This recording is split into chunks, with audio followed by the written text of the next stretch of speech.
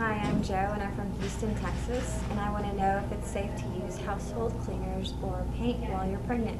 That's a great question, Joe. Uh, a lot of people ask, especially about the paints. You don't want to use paints that are lead-based, but other paints would be just fine, especially if you're in an open room and not a very closed room. Household cleaners are typically considered safe.